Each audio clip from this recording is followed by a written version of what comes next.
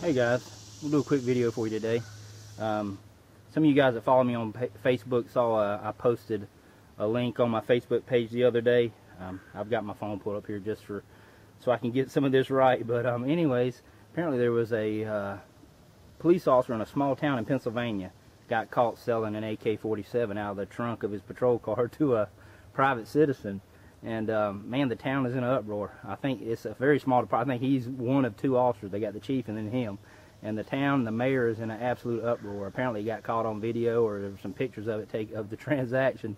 Uh, he was at a convenience store, I believe, and he was, uh, uh, like I say, uh, selling a rifle out of the back of his patrol car, and they are going absolutely crazy over this.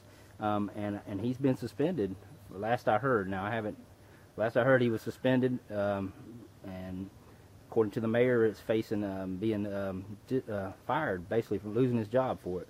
And um, the thing is, I'm gonna put the link below.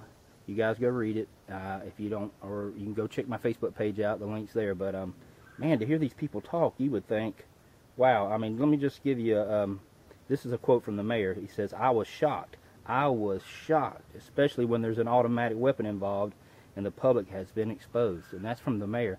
Well, Mr. Mayor, it wasn't an automatic weapon. It was a rifle, a sporting rifle, a semi-automatic um, Kalashnikov type rifle. That's all it was. Nothing illegal about that.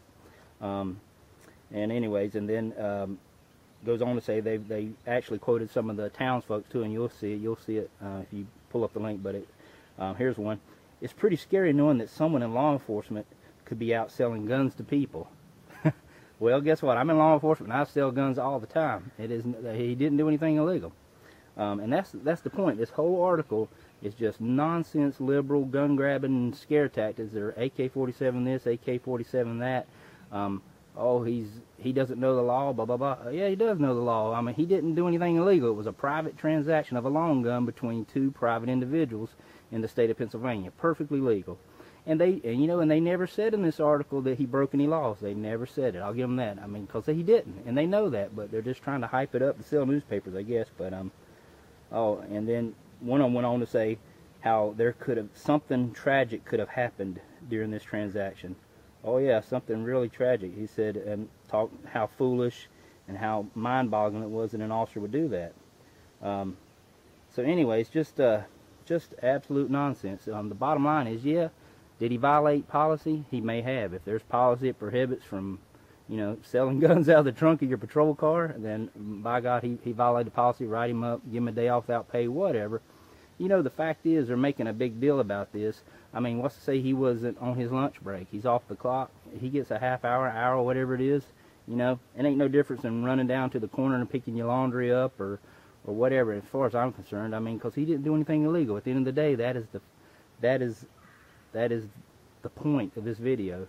This officer did nothing illegal, and they're like, I can't believe, you know, he arming people, yada, yada, yada, making the community unsafe, which is absolute nonsense. He, in fact, probably made the community safer by arming someone, allowing someone to purchase a weapon so they can protect themselves and their family.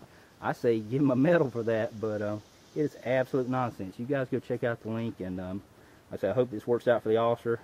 But I mean, honestly, I wouldn't want to work in a town like that. Like I said, he broke no laws, but they're just they're ready to crucify him over it. But um, um, go check out the link and um, let me know what you think in the comments below. Um, anyways, guys, I appreciate you watching. Y'all have a good one.